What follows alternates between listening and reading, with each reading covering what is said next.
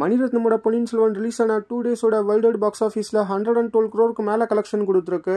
Two டேஸோட Tamil Nadu gross around thirty four crore Karnataka seven crore Andhra Telangana five point eight crore Kerala five point five crore rest of India five point two five crore so two டேஸோட total India gross fifty seven point five five crore ஓவர்சீஸில் இந்த படம் second டேல எவ்வளோ collection பண்ணியிருக்கு பற்றின full report இன்னும் வரல.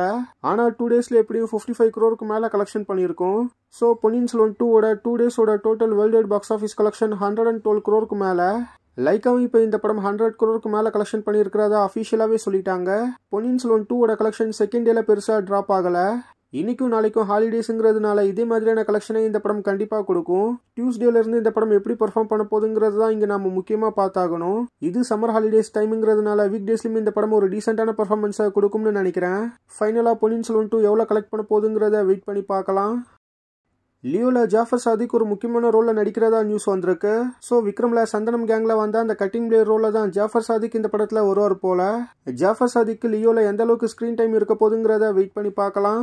லோகேஷோட டேரக்ஷனில் நம்ம தளபதி விஜயோட ஆக்டிங்கில் அனிருத்தோட மியூசிக்கில் மூவி ஒரு அக்டோபர் நைன்டீன் ரிலீஸ் ஆக போகுது. நம்ம அஜித்தோட ஏகே சிக்ஸ்டி டூட அனௌன்ஸ்மெண்ட் இன்னைக்கு மிட் நைட் இல்லைனா நாளைக்கு வர சான்சஸ் இருக்குது விடாமுயற்சின்னு இந்த படத்துக்கு டைட்டில் வச்சிருக்கிறதா சோஷியல் மீடியாஸ்ல சில பேர் நியூஸா ஷேர் பண்ணிட்டு இருக்காங்க ஆனா இது எந்த அளவுக்கு உண்மைங்கிறத வெயிட் பண்ணி தான் பார்க்கணும். மகிழ் திருமணி டைரக்ஷன்ல லைக்கா இந்த படத்தை ப்ரொடியூஸ் பண்ண போறாங்க.